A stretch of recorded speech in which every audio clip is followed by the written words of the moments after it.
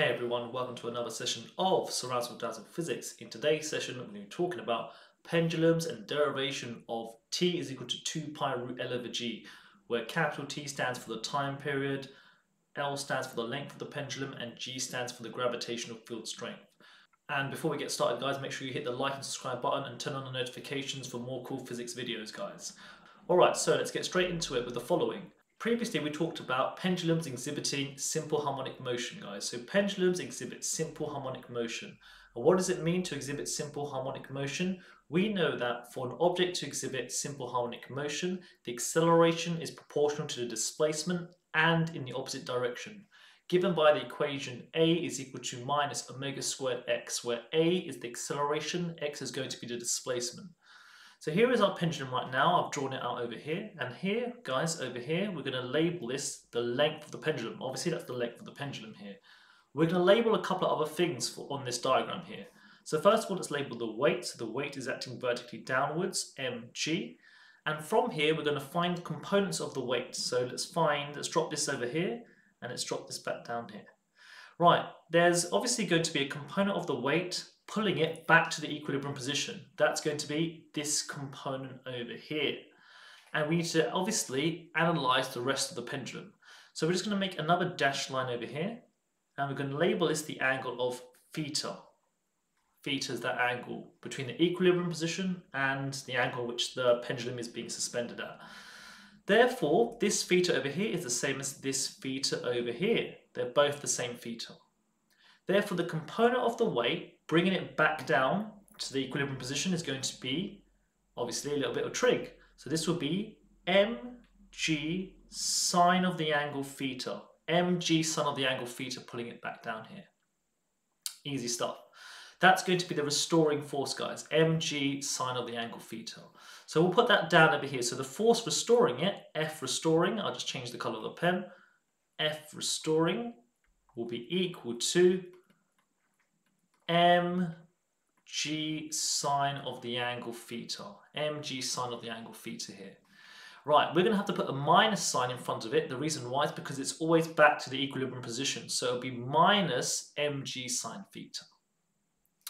We know there will be a resultant force acting upon this um, pendulum over here. So therefore, the force resultant will be equal to, as usual, due to Newton's second law, it'll be equal to ma over here.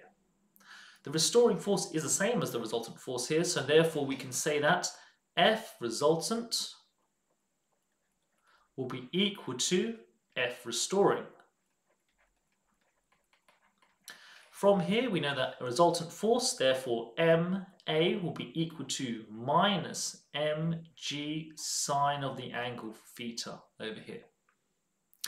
Now, the next thing we're going to do is we're going to label something else over here we're going to label the displacement from the equilibrium position. So this is going to be x over here, x over here. Therefore, we can do something quite nice.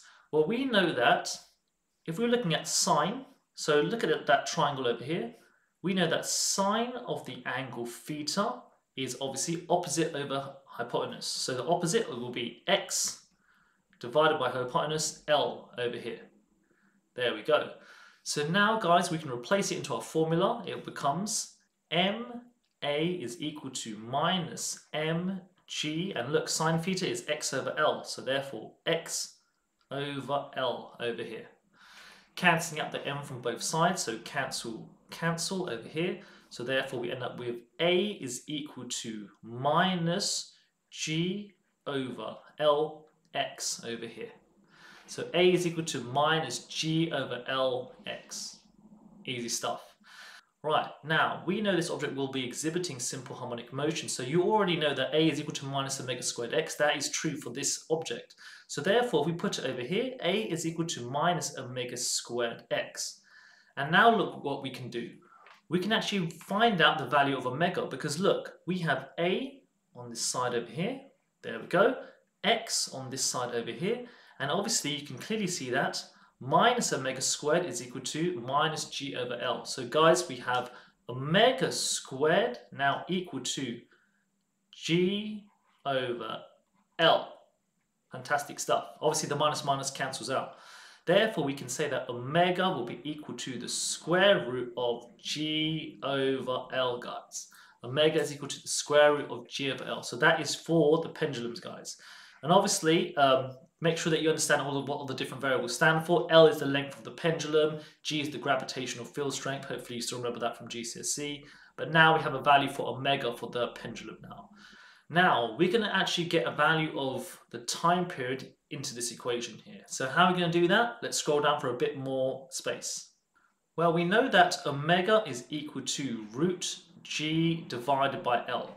Omega is equal to the angular velocity, the angular velocity, which is equal to, obviously, the rate of change of angle. So it's going to be theta divided by t, total angle swept divided by total time, or for one rotation, guys, it's going to be 2 pi divided by the time period t. 2 pi divided by the time period t over here. Or if you want, 2 pi f, because you know that f is equal to 1 over t as well. So we have that as well. So let's try and get t into here. So let's use this bit over here. We have omega here. We have 2 pi over t over here. So therefore it becomes 2 pi divided by t is equal to root g divided by L over here. Therefore, we're going to square the whole thing and rearrange it. So therefore, it becomes t will be equal to 2 pi. Obviously, we're moving the t up, L up, the root g down. 2 pi root L over g.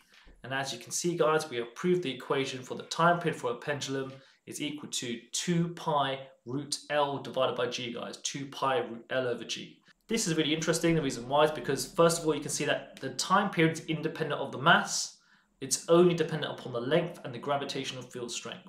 So it's only dependent upon the length and gravitational field strength and independent of the mass, guys. Because look, there's no m in this equation over here. Easy stuff. Okay, so the next question is going to be the following. So here we go, guys. A practical investigation using t is equal to 2 pi root L over g to find the value of g. We're going to look at the graphical method now. So obviously, all the practicals in A-level physics, you'll need to be able to plot a graph and work from there. As you can see on the left-hand side, I've drawn the pendulum in its oscillation. So look, one complete oscillation, it's there, swings out, middle, back, then back to the middle again. That's one complete oscillation. So this would be when time t is equal to zero. This one would be time t is equal to the time period t over here. So that's one complete oscillation over here. Now from here, guys, what can we change and what can we actually measure? So look at that equation. We can't really change gravity, obviously, unless you're going to change planet, but we can change the length and we can look at the time period here. So in a simple practical, guys, let's make the following grid. So we're going to change, obviously, the length of the pendulum. Okay, we're going to measure the time period.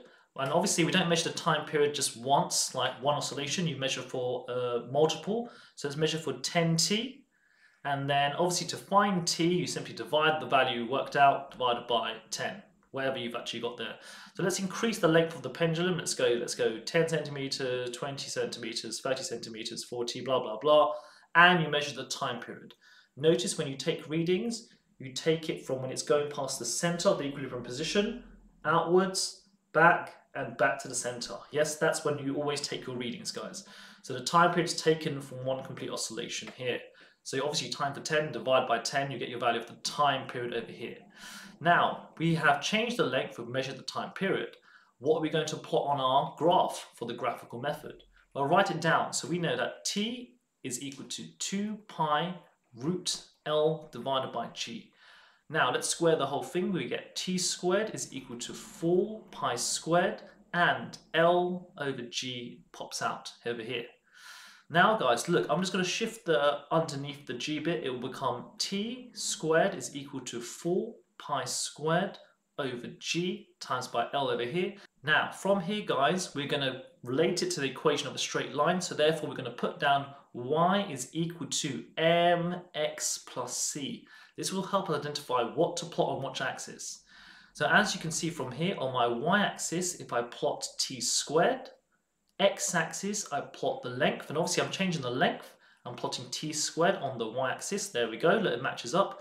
We can clearly see that the gradient of this line, given by the equation, will be equal to 4 pi squared over g. So over here, we're over here right now. So let's say we plot the straight line graph, we end up with dy by dx, which is the gradient of the line, is equal to 4 pi squared divided by g over here.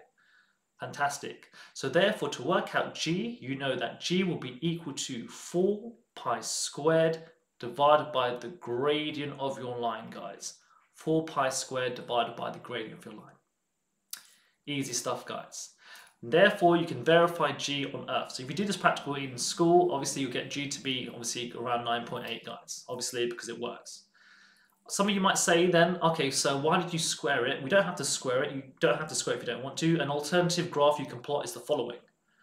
So alternative graph that you can plot, well, have a look, guys. You don't have to square any of it. You can just simply do this. We know that t is equal to 2 pi uh, root L over G. I'm just going to split out that root bit. It becomes T is equal to 2 pi.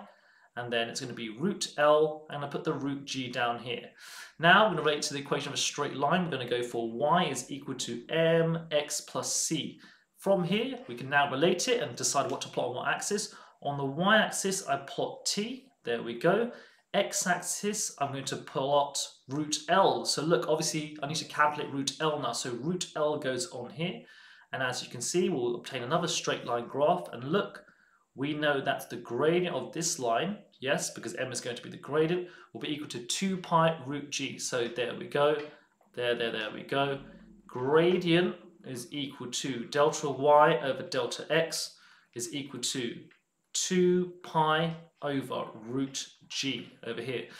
Then rearranging this formula to work out the value of g, we know that root of g is equal to 2 pi divided by your gradient. Therefore, we can say that g is equal to, obviously get rid of the root, square the whole thing, 4 pi squared divided by your gradient squared, the gradient value squared over here. Easy stuff. And that's it for another session of CeerazzleDazzle Physics. Let's have a quick recap right from the top so we can go through it all again. So right from the top, we said pendulums and the derivation of t is equal to 2 pi root L over g. Scrolling down, we said that pendulums exhibit simple harmonic motion over here. As you can see, we know that for simple harmonic motion to be valid, acceleration is equal to minus omega squared x, where acceleration is proportional to displacement in the opposite direction. We then looked at this diagram over here, we resolved it, we found the restoring force and equated that to the resultant force. We did a bit of algebra, used the sine theta as x over L, and we related it to the equation of SHM. We found omega is equal to root g divided by L, guys, root g divided by L.